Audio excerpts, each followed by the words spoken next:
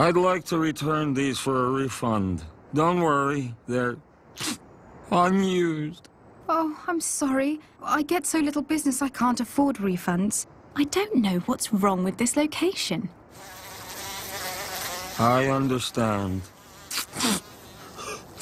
Please don't cry. I can't stand to see a living thing feel pain.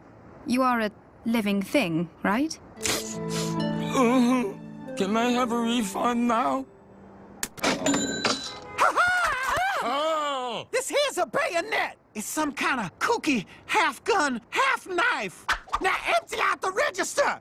And no bag, please. I care about the environment. I, I have three dollars in moldy pennies. It's all yours. That's generous of you. Oh, no, you don't, Mr. Big Jerk. I have nothing to live for, so I don't mind telling you. Those pennies are mine. Don't you get it? I'm crazy! Go ahead. I don't care what happens anymore. Do it. Bash my head in. What? What is that? Mustard gas? That ain't legal. Ain't you heard of no Geneva Convention? That was amazing. Oh, you were so brave and frugal. I'm sorry. Don't hit me. Mm, mm.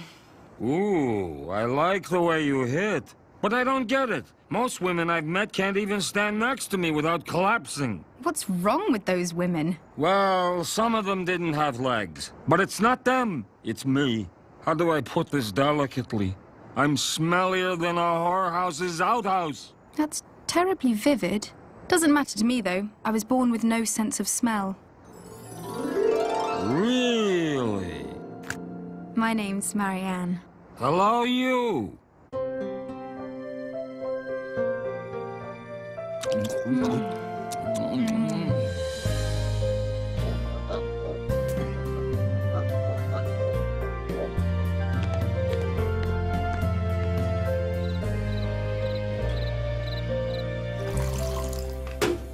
I like your dumpster. Thank you. The previous tenant was a very prominent raccoon. I remember. Too bad he got partially run over by that steamroller. Can I kiss you? First, let me pinch myself to make sure I'm not dreaming. Ouch! I forgot I was a giant crab.